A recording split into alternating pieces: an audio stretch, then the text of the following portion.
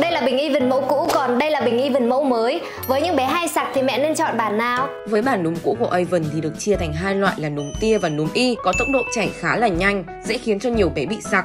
Thì bản núm mới của Avon đã đồng nhất tất cả các size về dạng y cắt hoa, khiến cho tốc độ sữa chảy ra chậm hơn và từ đấy thì chống sặc tốt hơn, nhất là cho bé sơ sinh. Núm cũ thì có phần van thoát khí đặt dưới vành núm như thế này, còn phần van thoát khí của núm mới thì được đặt ngay trên bề mặt núm, giúp cho khả năng chống đầy hơi, chống ọc sữa hiệu quả hơn so với bản cũ nha. Với những bé hay sặc hoặc sức bú yếu thì các mẹ nên chọn bản mẫu mới này nha.